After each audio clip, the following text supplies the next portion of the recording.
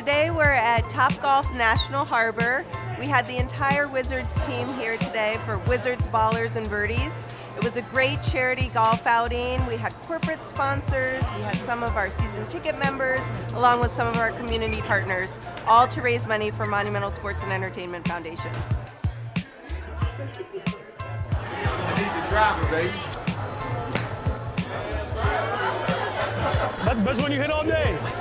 This organization does everything, and they continue to give back to the DMV, and they really care about uh, the community that they're a part of, and it's special to be a part of, and it's special to watch. How many do I get? Two? Get up in there.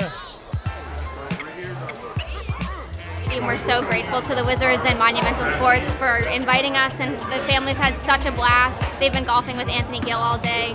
We are all about creating these meaningful, once in a lifetime moments for our surviving military families, and to have the support of Monumental Sports and the Wizards, it's so meaningful, and we're so appreciative. I think that everybody's here to serve, so to be able to combine my work and also a little fun with the charity event, couldn't do anything better. We're going to announce the winners from this incredible day of Topgolf. What better way to spend a Sunday than hang out with some wizards and hit some balls around? It's always nice to have an organization like Smile out here, knowing that we're appreciated and that folks in the community are appreciated. And you received, you ready for this? A team side jersey. A team side jersey.